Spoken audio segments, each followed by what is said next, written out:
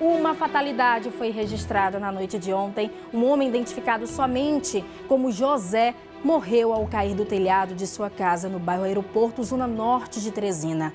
Esse acidente aconteceu enquanto ele tentava tirar uma manga de uma árvore. Acompanhe mais detalhes nessa reportagem do Ponto 50.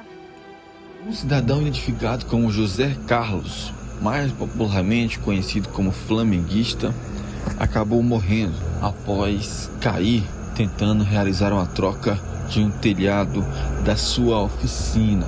Segundo as informações, José Carlos estaria realizando a substituição de uma placa de zinco quando teria se desequilibrado e caído.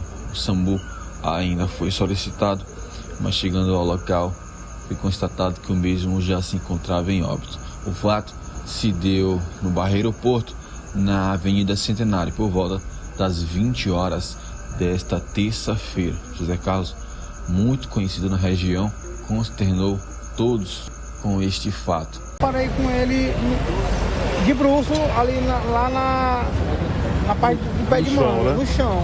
Com um pouco de vida. Eu corri, eu corri ali no ponte da picanha para avisar os outros demais amigos nossos para ver se ele tinha como sobreviver ainda, mas a SAMU chegou em 15 minutos mas não foi possível é, reanimá-lo. A Polícia Militar, juntamente à Guarda Civil Municipal, estiveram no local, aonde deram todo o suporte até a chegada da Polícia Técnica Científica, assim como também do Instituto Médico Legal.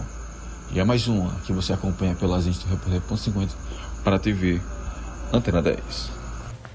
Que triste, né? Uma fatalidade realmente. Ele inventou aí de subir nesse pé, nessa árvore e tirar um, um pé de manga, né? Para tirar uma manga acabou caindo e também nessa escuridão, gente. Que situação, coitado, né? Fica aí de alerta a você, não faça isso. Ele, um idoso, né, uma pessoa já com uma idade aí já avançada, acabou caindo e falecendo. O resgate aí até chegou, mas ele já, já tinha vindo a óbito, já havia falecido.